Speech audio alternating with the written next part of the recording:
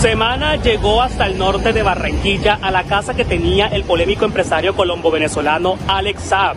Por primera vez, un medio de comunicación logra ingresar para conocer las condiciones en las que se encuentra actualmente el inmueble.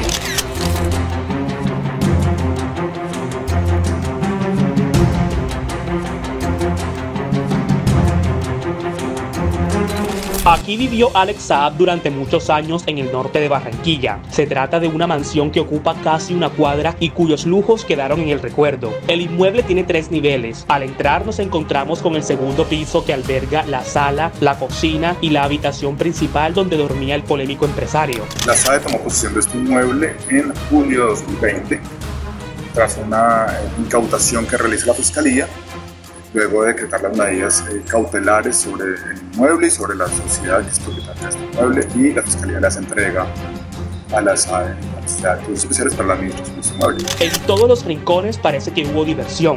En esta zona, por ejemplo, dicen que se instaló un televisor exclusivamente para ver películas y videojuegos. Atrás se construyó una piscina y una zona infantil. Bajamos las escaleras cuyo mármol aún resiste. En el primer nivel hay más habitaciones que poco a poco parecen desprenderse a pesar de los esfuerzos por mantenerlas. Algunas de ellas eran utilizadas por huéspedes y otras funcionaban como spa. También encontramos un patio con otra piscina más pequeña. Tiene un área de 1500 metros cuadrados.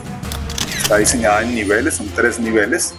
Eh, está construida en materiales de muy alta calidad, hormigón, tiene dos piscinas. El recorrido finaliza en el tercer piso destinado únicamente para el deporte. Aquí, el Colombo venezolano construyó una cancha de tenis para apostarle a su pasión, esa misma cancha que busca hacerle frente a la intemperie para seguir reluciendo desde las alturas en donde alguna vez estuvo Alex Saab.